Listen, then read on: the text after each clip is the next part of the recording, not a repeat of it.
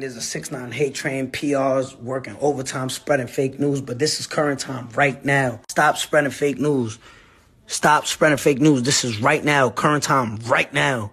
Right now, current time, right now. Stop spreading fake news. Now six nine came around and say he good, anybody touching him.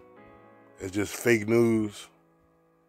So in the club, he was swinging on whoever he was. He was swinging on him. And this was in Dubai. This is not in America, so I don't know how their laws work if you get to fighting over there. I know their drug laws are extremely strict.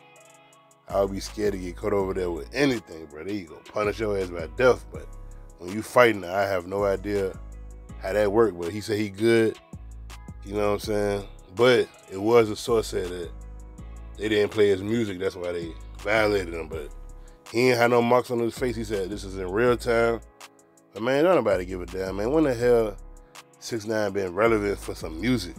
When the last time Six Nine actually put out a dope song or an album or anything? Like he ain't even trying to hate because he getting money. He made it out out the hood, but he's a gimmick rapper. Like he came out making songs called Booga Gooba Gotti. Like he's a gimmick rapper. He was never supposed to be no rapper to take serious. He came out beefing with everybody, claiming he was a blood into the Bloods, turned against him. Now he ain't no blood no more.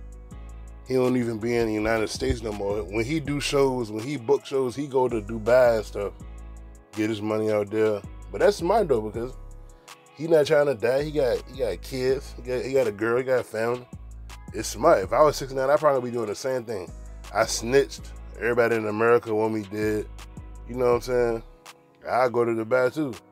I stay out the way, but don't be making yourself look like a clown. That's the only thing. Out here looking like a clown fighting in the club because the DJ said I'm not playing a snitch music, whatever.